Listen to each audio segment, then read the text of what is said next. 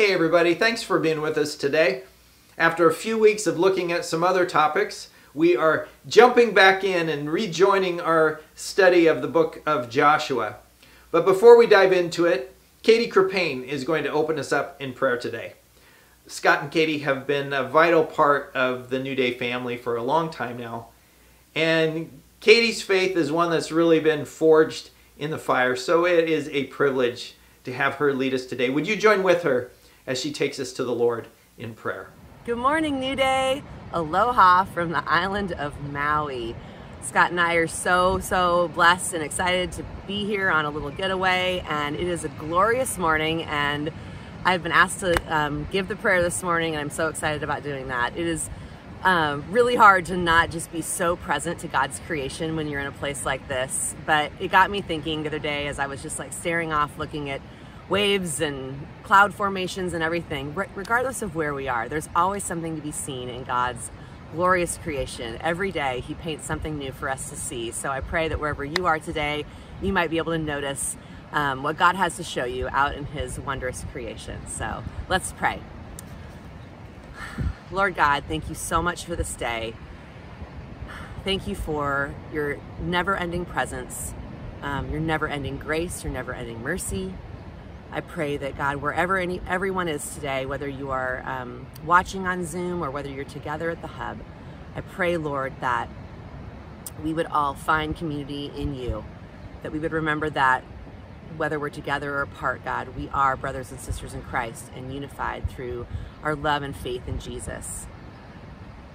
I pray, God, that um, those that might be struggling today or hurting, dealing with hard things, God, that they would feel seen and known by you, that they would know, God, that you are with them.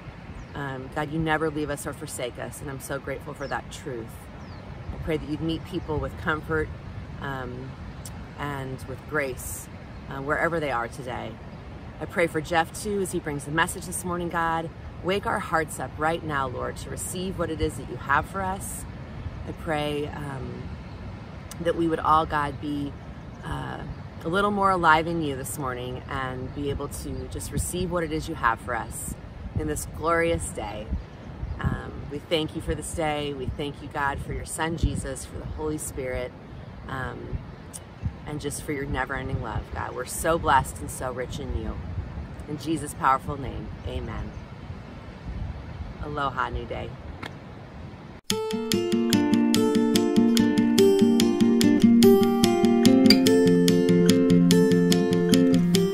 Well, I don't know about you, but for me, at this point in the pandemic, I think a few extra steps might be a good idea. And so I was thinking maybe an outdoor field trip would be in order.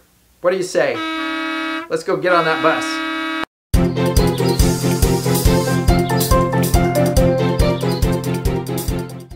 Hello, I am very happy to be the driver of the yellow bus that brought your pastor to this historic place in Minneapolis. Uh, we've lived in the area for over 30 years and have never seen it before, so it's a great introduction for me as well. Uh, you're going to look and see the very top of this uh, tower, and I'm going to turn it over to your pastor again. Bye bye. So we've hiked today up to uh, this very high point in Minneapolis. You can hear how winded we are.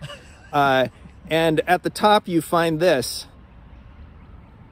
which is known as the Witch's Hat Tower. It's not too hard to see how it got its name. The green peak on the tower makes it easily recognizable from far away. It was designed by Frederick Cappelen back in 1913 to increase water pressure for firefighters in the area.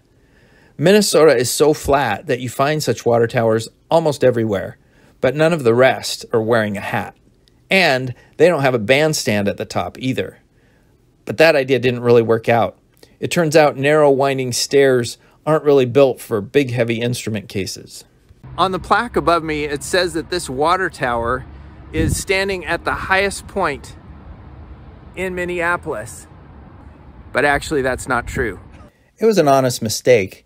There's so little variation in height that nothing in Minneapolis even reaches a thousand feet above sea level. The nearby Deming Heights Park nudged out the witch's hat by about 20 feet. Plus, that park has an elf door in a tree. But that's for a different field trip. Well, that's about all we have time for today. We got a long trip back ahead of us, so let's head back to the bus and get on with the sermon.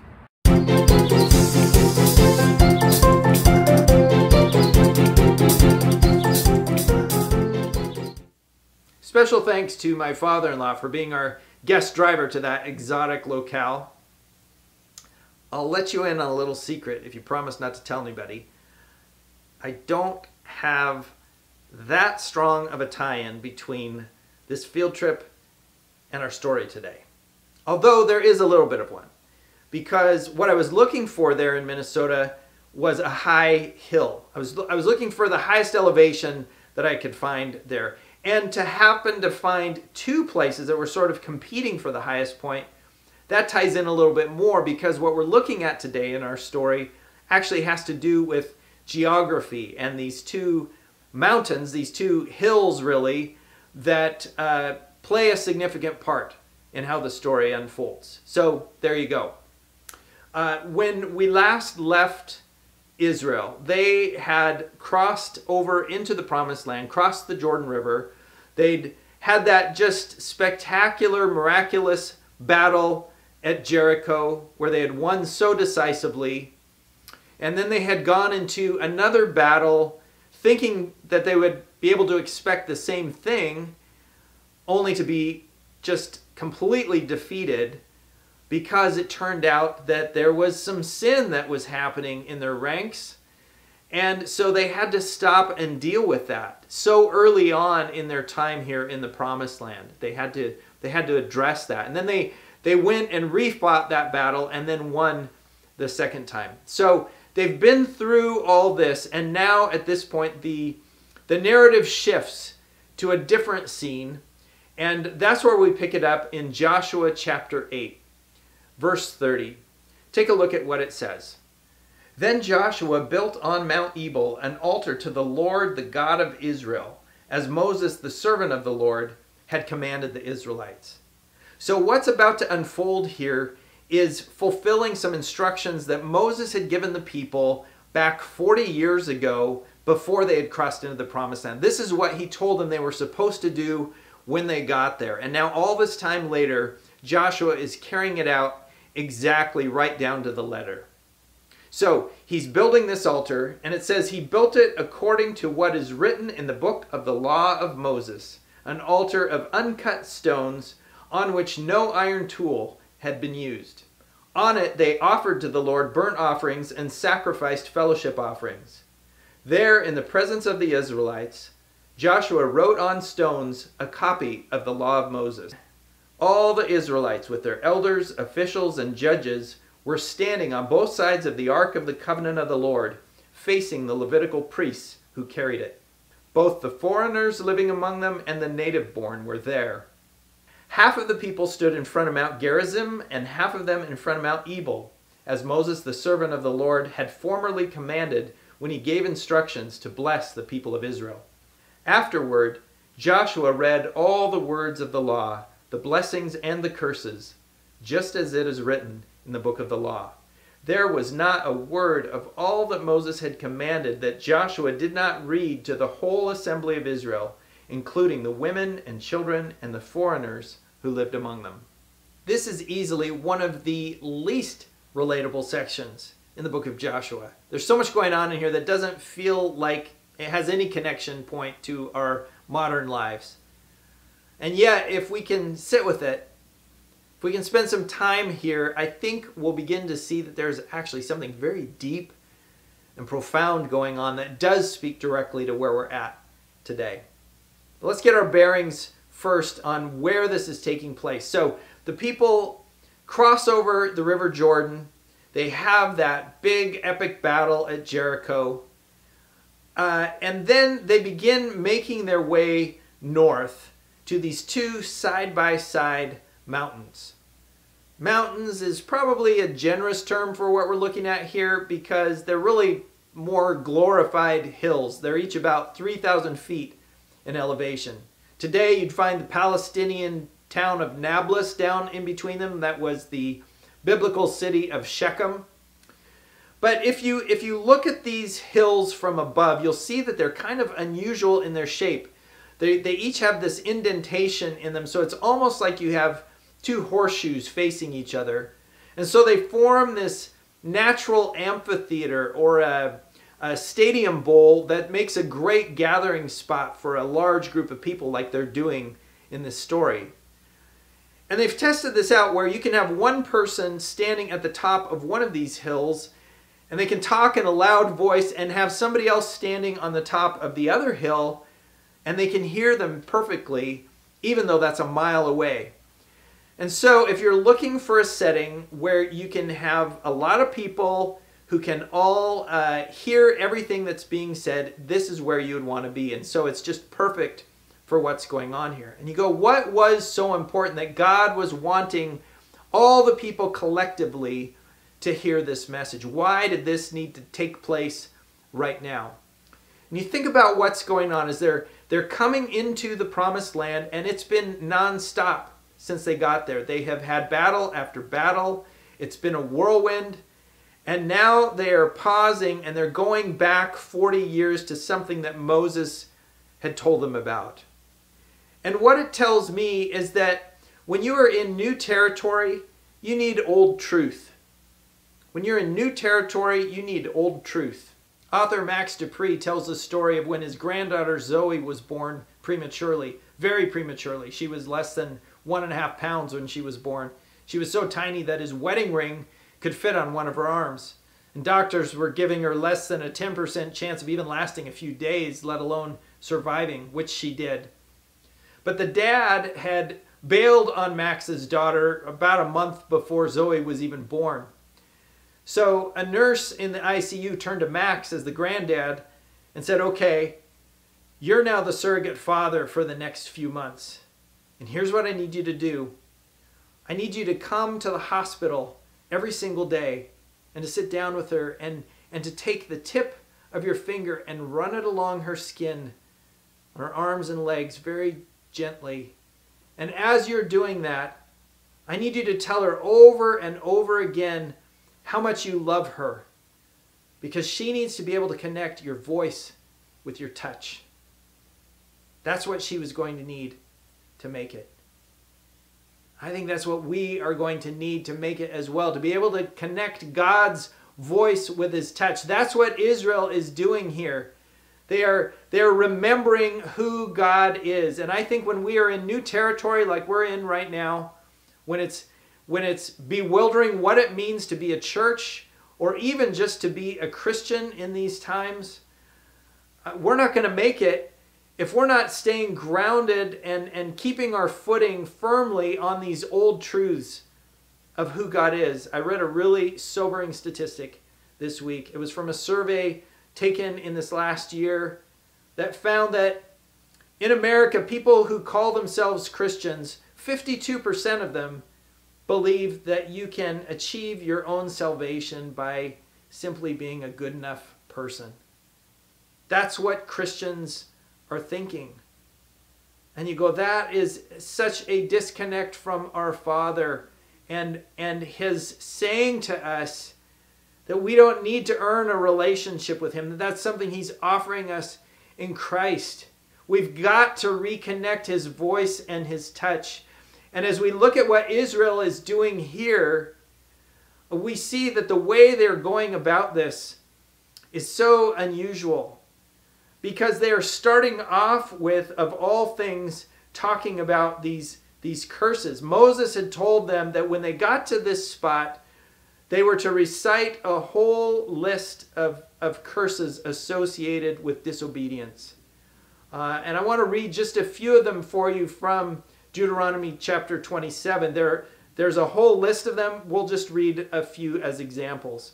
The Levites shall recite to all the people of Israel in a loud voice Cursed is anyone who makes an idol, a thing detestable to the Lord, the work of skilled hands, and sets it up in secret. Then all the people shall say, Amen. Cursed is anyone who dishonors their father or mother. Then all the people shall say, Amen. Cursed is anyone who moves their neighbor's boundary stone. Then all the people shall say, Amen. Cursed is anyone who leads the blind astray on the road. Then all the people shall say, Amen. Cursed is anyone who withholds justice from the foreigner, the fatherless, or the widow. Then all the people shall say, Amen. That's just a taste of what the people were reconnecting with here. But I want us to pause and do one of our breakouts right now to just have some reflection on these curses that you just listened to. What stood out to you about them? If you're watching this with other people, take some time to discuss with one another. If you're watching by yourself, maybe just jot down some notes here. But we'll set the timer for two minutes to give you a chance to think about what stood out about these curses, and then we'll come back.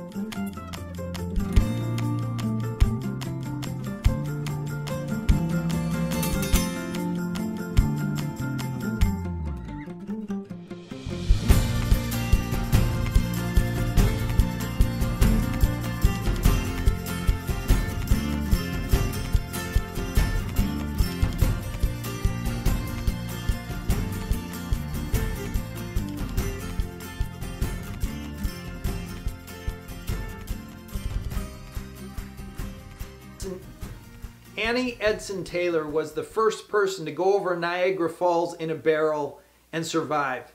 She was 63 years old at the time. She got all done, and her big takeaway for it was nobody should ever do that again. That is a terrible, terrible idea.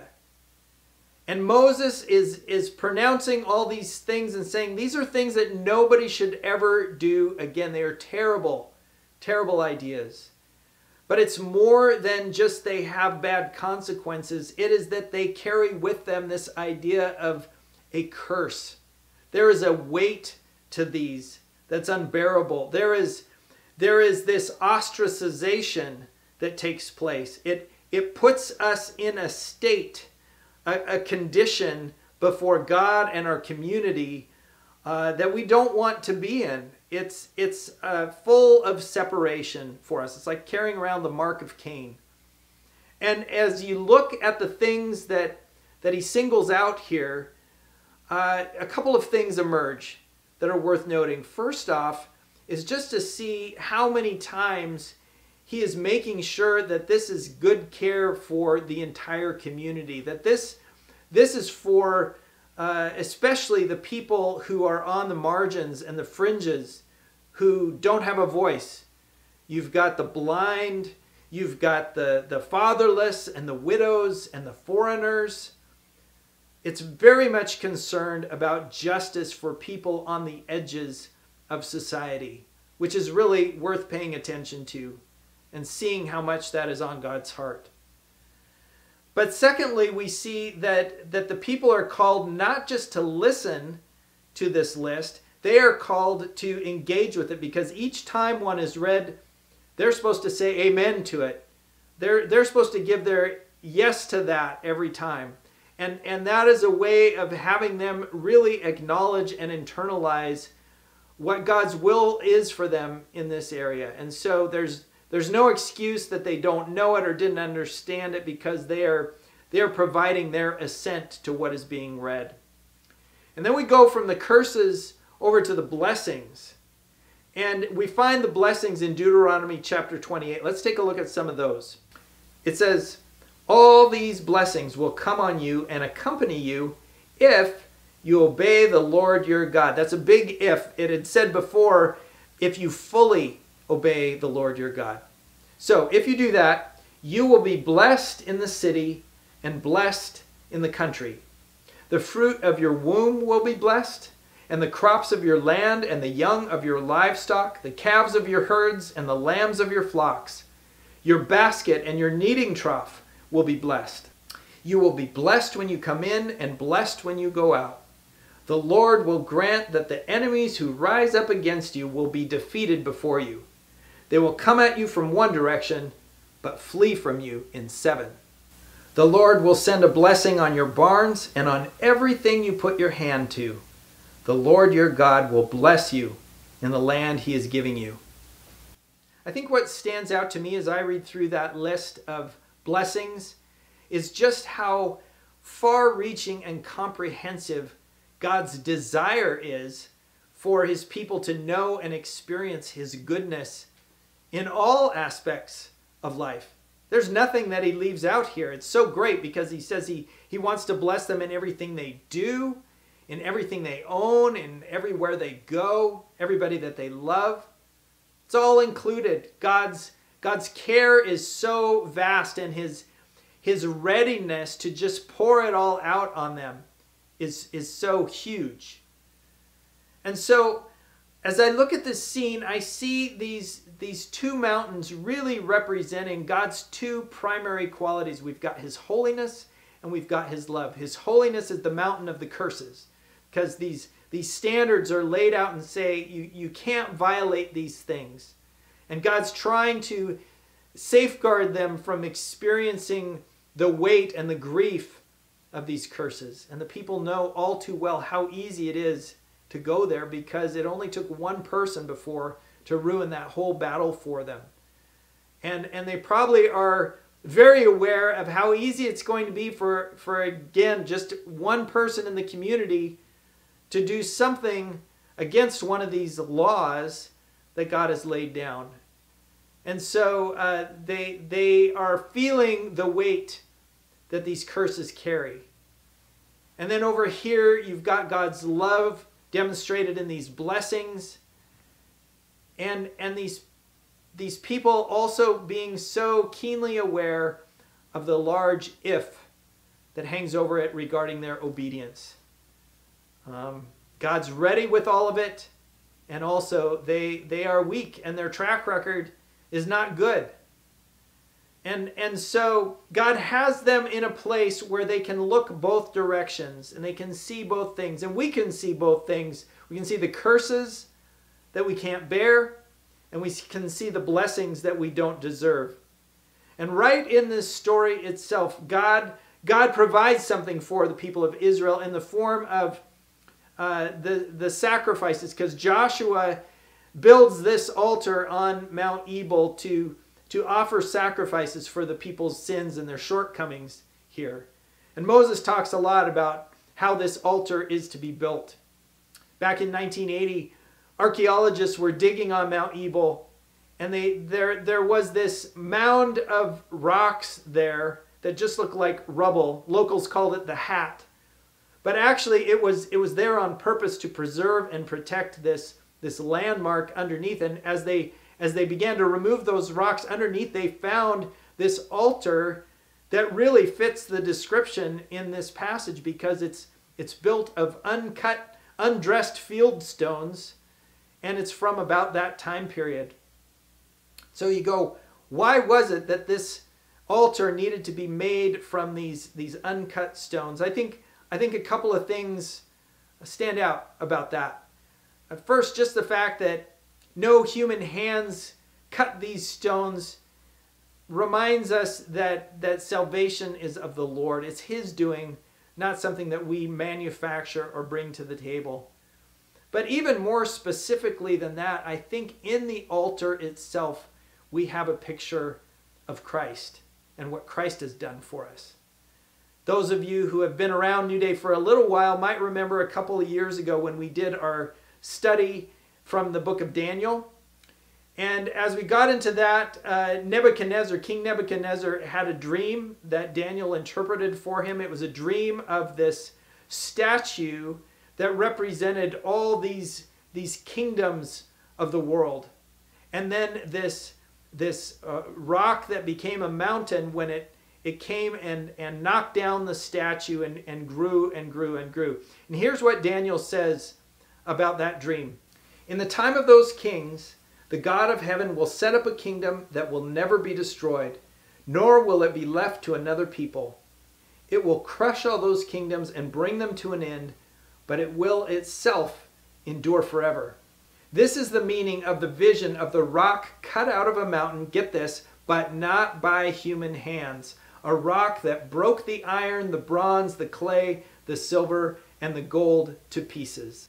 Christ himself is the rock not cut by human hands. He is not manufactured. He is not made up. He is the altar in this story because he is the one who takes down everything that stands in the way of us having a relationship with God. And that includes these curses. He took them on. Galatians 3:13 says, "Do you remember the scripture that says cursed is everyone who hangs on a tree?" That is what happened when Jesus was nailed to the cross. He became a curse and at the same time dissolve the curse. It is completely taken care of in Him. Hallelujah. And on the blessing side of things, He's the one who completely obeyed everything that God ever commanded perfectly. Ephesians tells us this Praise be to the God and Father of our Lord Jesus Christ, who has blessed us in the heavenly realms with every spiritual blessing in Christ. Every single one is ours in Jesus. Every single one is ours. And it's because his perfect obedience has made it possible for God the Father to, to now pour out on us all that generosity, all that goodness and grace and blessing. He can now reconnect his voice and his touch in our hearts in a way that we can receive without our disobedience being the barrier that it once was because Christ himself is our rock. What a great picture story this is for us, not just of who he is, but also of our response to him. Because this story describes God's people there as they're gathered at the base of those mountains and they are they are centering themselves around the ark. They they are oriented towards that as the the focus of God's presence among them. They're not distracted by the curses that were potential or the potential blessings. They're instead focused on his presence and presence there with them. And the story uh, tells us specifically who was part of that gathering. It says that it included the marginalized, the other, the foreigner.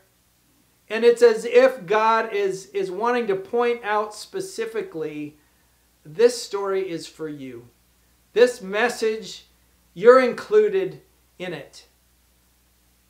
And as I was thinking about where we are at, facing our own new territory, because it really is a new world for us, for all of us as Christians and for the church, going, what is it like in this crazy, turbulent, fast paced world right now? What does it mean to be a follower of Christ? What does it mean to be a community of followers?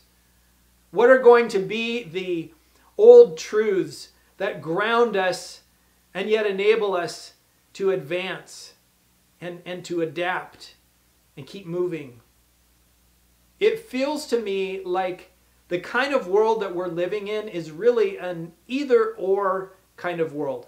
It's a world that wants you to choose a camp or a tribe and then separate and, and be split off from people who are on the other side. There's all kinds of divisions on every every level in every aspect of our lives right now. Our culture is just wired that way, trying to get us to to pick and choose and then uh, judge people who are in a different category.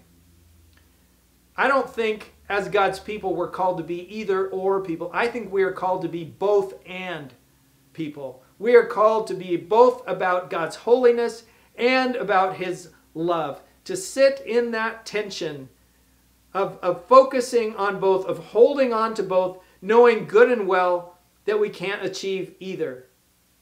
To stay in the center of that, though centered around the very presence of Christ, who is the one who gives us both. Christ himself is both mountains. I think about Psalm 125 that says, As the mountains surround Jerusalem, so the Lord surrounds his people, both now and forevermore. Christ, like those mountains, hems us in. He is our both and.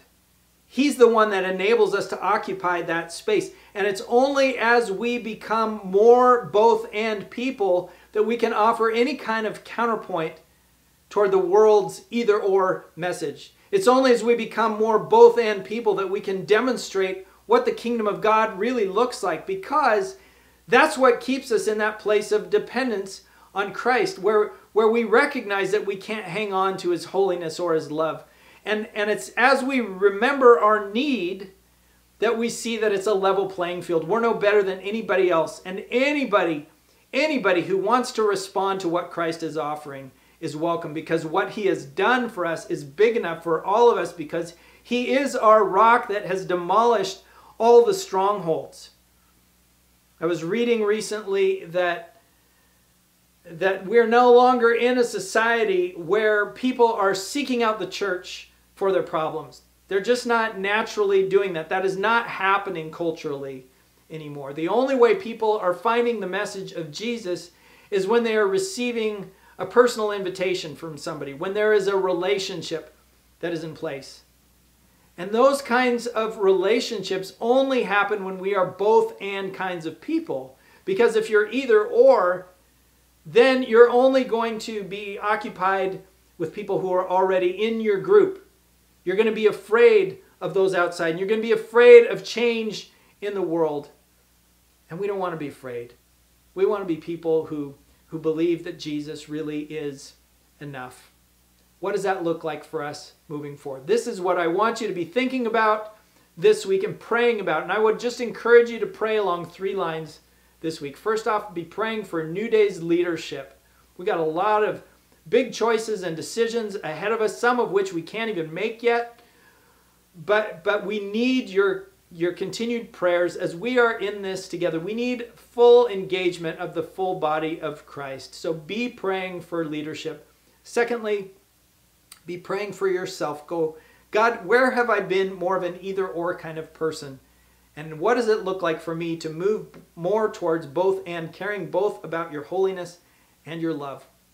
What does that even mean and what does that look like? And thirdly, is there someone, an individual person that you can name who you consider to be an other in your life? Someone on the outside, on the margins, who you can begin praying for that normally you wouldn't, that normally uh, would be outside your scope, and say, God, soften my heart toward this person. Help me be a vehicle of the message that what Jesus has done uh, is enough for them as well. Let's pray together. God, thank you for your word. Thank you for the fact that an old story about two small hills can show us so much about Jesus. Uh, and thank you for Jesus. Thank you for the truth that he's our rock. And, and God, we want to be both and people. We want to care about the things that you care about. We want to recognize our dependence on you. And God, we want to be a welcoming community. So show us how to do that, Lord, in this really challenging, strange time. Help us not to be afraid. And we give ourselves to you, even for this next upcoming week. Guide us Bless us, we pray. It's in Jesus' name. Amen.